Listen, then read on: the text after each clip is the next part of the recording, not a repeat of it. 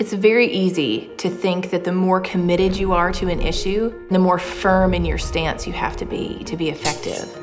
But I'm telling you, do the opposite. Show your hand.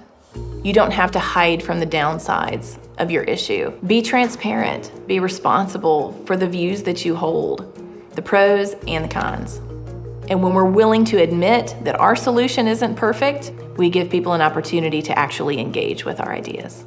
This is Stand Together Presents stories, ideas, and advice from changemakers tackling our biggest challenges.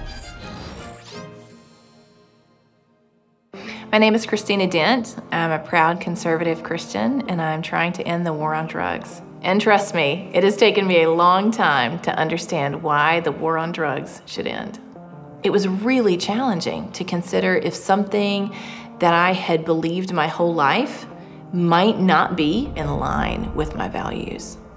It felt vulnerable, it felt scary. There's still a lot about this position that makes me uncomfortable. And yet, I believe it is the best solution to the available imperfect ones that we have. I want other social entrepreneurs who are working on challenging issues like this to realize that this is the process that we are inviting people to engage in. If we want more people to embrace that kind of vulnerability, we have to show them that kind of vulnerability first. When I started telling my own story, people started listening.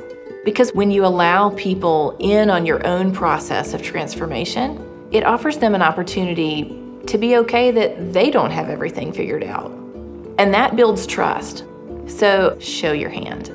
Be transparent about your own uncertainties, about your mission, about the kind of world that you want to see. You'll be much more likely to connect with your audience.